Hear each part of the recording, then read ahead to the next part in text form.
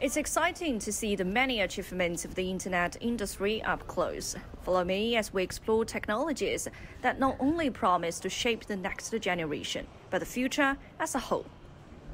Innovation and tech sense, the keywords of this expo.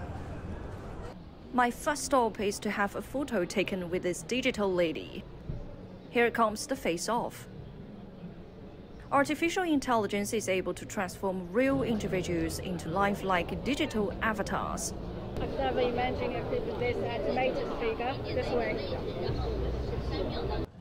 Themed around building a shared future in cyberspace, this year's expo has drawn over 550 domestic and international companies from more than 45 countries, showcasing their latest products both online and offline Almost 100 events are set to launch new products, with intelligent innovations capturing the hearts of consumers. This smart mirror assesses your health in just a few minutes. 往前。抬一点点，抬一点点。哦，对。 We can embrace the trends of intelligent applications here with the advanced technology. Cutting edge technology doesn't just enhance daily life, it can also save lives. Take, for instance, this robotic dog, capable of unmanned inspections in tunnels and even during rescue operations.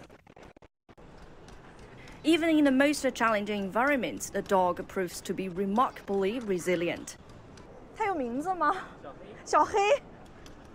Xiaohei is currently well trained. 好了，小黑，我们坐下吧。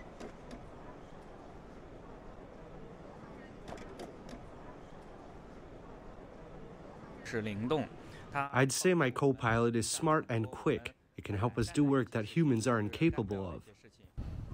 With the Wuzhen Summit in full swing, we look forward to witnessing further achievements that propel our digital civilization forward.